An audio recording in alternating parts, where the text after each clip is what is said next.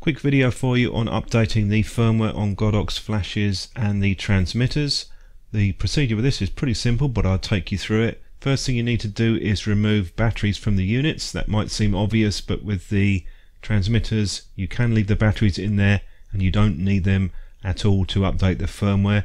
We have different connectors with these units depending on what you're updating the firmware on. I'm going to be looking at the X Pro so that's a type C connector Make sure you connect it directly to the computer. Some of the hubs, particularly the unpowered ones, might not have enough juice to power the unit.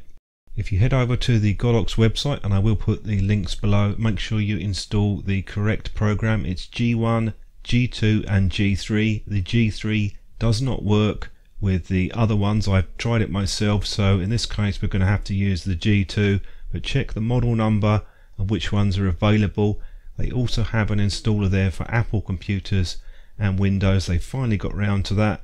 And then you can just download the one for your particular model. Now I'm going to open the G2, select the file which I've already just downloaded and put on the desktop. You can see it quite clearly marked there and that loads the file.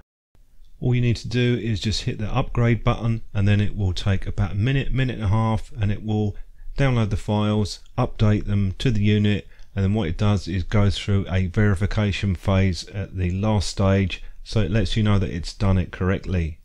Not exactly sure why Godox have three different installers but make sure you get the right one for the device that you are updating. On the screen now you can see it's almost finished and it just takes a couple of seconds to upload and then verify the files. If you run into a problem and the software crashes like it has done here, just restart it and try it again. I haven't managed to brick a Godox unit at least to date. Now that I've done the update, I'm going to just put the batteries in and check the firmware version on the unit. So to do this, I just press the menu button and it comes up version 1.2 in the corner. And that's pretty much it.